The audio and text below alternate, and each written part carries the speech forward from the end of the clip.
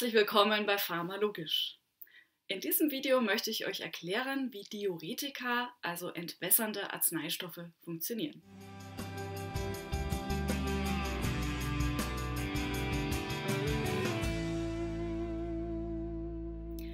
Unter den Diuretika gibt es verschiedene Wirkstoffgruppen und die setzen an verschiedenen Stellen im Nephron an.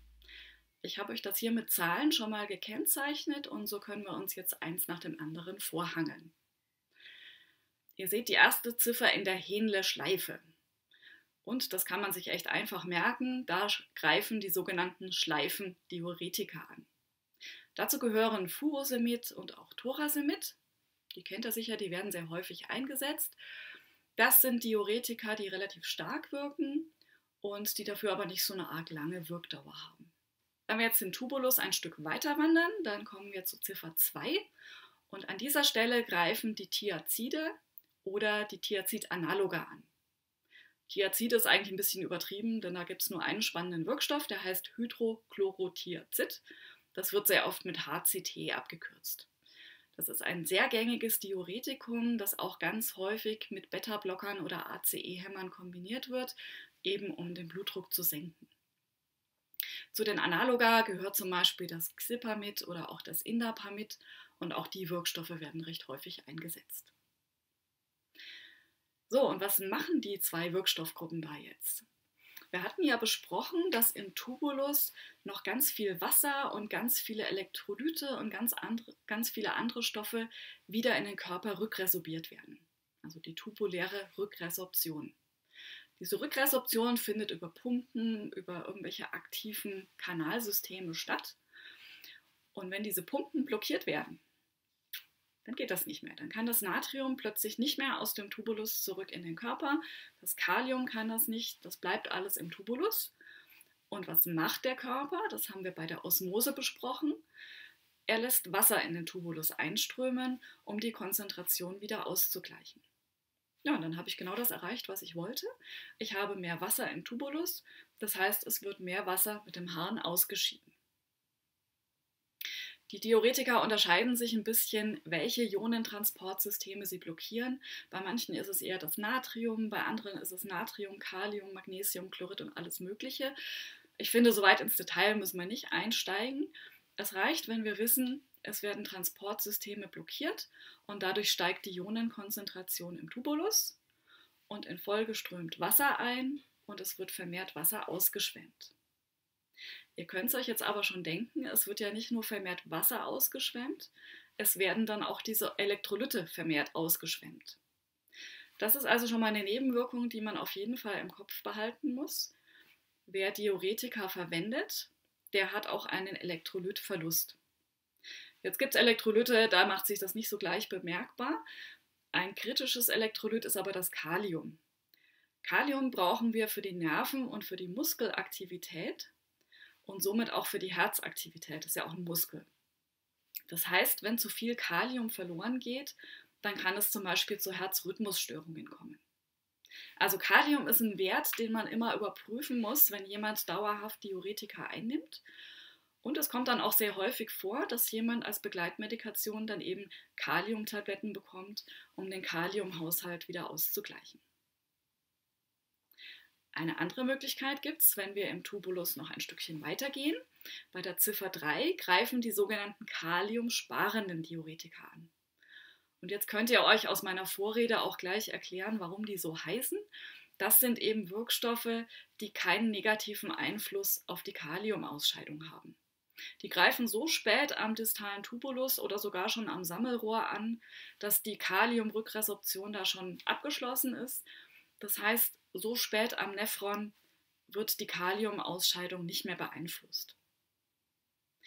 Dafür sind sie nicht so ganz stark wirksam wie die anderen Wirkstoffe. Das erklärt, warum es einfach nicht nur kaliumsparende Diuretika gibt, sondern warum die anderen Wirkstoffe auch eingesetzt werden. Zu dem kaliumsparenden Diuretika gehört zum Beispiel Triamterin oder auch Spironolacton oder auch Eplerenon. Wenn wir es jetzt alle aufzählen, dann kann man das Amylorid auch noch mitnehmen. Und bei den kaliumsparenden Diuretika, da kann man auch wieder zwei Wirkstoffgruppen unterscheiden. Die eine Hälfte, das Triamtarin und das Amyloid, die greifen genauso am Tubulus an, wie ich das für die anderen beiden Wirkstoffgruppen schon erklärt habe. Das Eplerenon und das Spironolacton, das setzt sich an die Aldosteronrezeptoren am Sammelrohr und am distalen Tubulus, blockiert diese Rezeptoren als Antagonist und sorgt dafür, dass das Aldosteron nicht wirken kann. So, jetzt habe ich zwei Begriffe vorweggenommen, die ich euch in Folgevideos erklären werde. Das eine ist der Begriff Aldosteron. Ich werde euch erklären, was ist das, wo kommt das vor, was macht das. Und das andere war Antagonist. Ich werde euch erklären, was ist denn ein Agonist und was ist ein Antagonist, was meine ich damit überhaupt. Für heute müsst ihr das jetzt mal so hinnehmen. Es gibt Aldosteron-Antagonisten und die wirken diuretisch. So, das war ein grober Überblick über verschiedene Wirkstoffgruppen, die häufig eingesetzt werden. Gucken wir uns nochmal an, was es so für Einnahmehinweise für Diuretika gibt. Der erste ist einfach ganz praktisch aus dem Leben gegriffen. Um die Nachtruhe nicht zu stören, also um nicht zu verursachen, dass jemand nachts ständig aufs Klo muss, sollte man Diuretika im Allgemeinen früh einnehmen. Wenn sie zweimal täglich eingenommen werden müssen, dann eben früh und Mittag Einfach mit dem Hintergrund, dass ich tagsüber mehr Zeit und Lust habe, aufs Klo zu gehen, als nachts ständig deswegen aufzuwachen. Immer wenn es eine Regel gibt, gibt es auch eine Ausnahme und das sind die Aldosteron-Antagonisten. Die brauchen ein bisschen, bis die Wirkung eintritt. Deswegen ist es da sinnvoller, die abends zu nehmen, damit dann da ab früh die Wirkung losgeht. Aber der Grund ist wieder der gleiche, ich möchte die Nachtruhe nicht stören. Und das Zweite ist ganz wichtig und das muss man auch immer wieder erklären ich erlebe es oft, dass Kunden zu mir kommen und sagen, jetzt kriege ich da so ein entwässerndes Mittel, ich habe zu viel Wasser im Körper, dann trinke ich doch einfach ein bisschen weniger. Die Logik finde ich durchaus nachvollziehbar, dass jemand sagt, wenn ich schon zu viel Wasser habe, dann fülle ich halt nicht noch extra viel nach.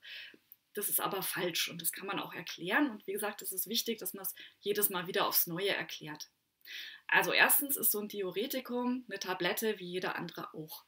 Das heißt, die muss sich im Magen auflösen, die muss über den Darm in den Blutkreislauf kommen und all das funktioniert einfach nur, wenn ich ausreichend trinke. Und das andere könnt ihr euch jetzt direkt am Nephron vorstellen. Ihr habt ja gesehen, das Ganze funktioniert nur, wenn die Niere gut durchblutet wird, wenn da genug Primärharn durchgeschleust wird, damit diese ganzen Mechanismen überhaupt stattfinden können. Ja, und die Niere wird auch dann nur gut durchblutet und hat genug Flüssigkeit zur Verfügung, wenn ich ausreichend trinke. Und sogar nochmal anders betrachtet, wenn ich jetzt Diuretika einnehme, die ja die Wasserausscheidung erhöhen und auf der gleichen Seite aber nicht mehr genug nachtrinke, dann habe ich sogar noch die Gefahr einer Austrocknung, also einer Dehydratation. Ich freue mich, dass ihr mir heute wieder zugehört habt. Bis zum nächsten Mal.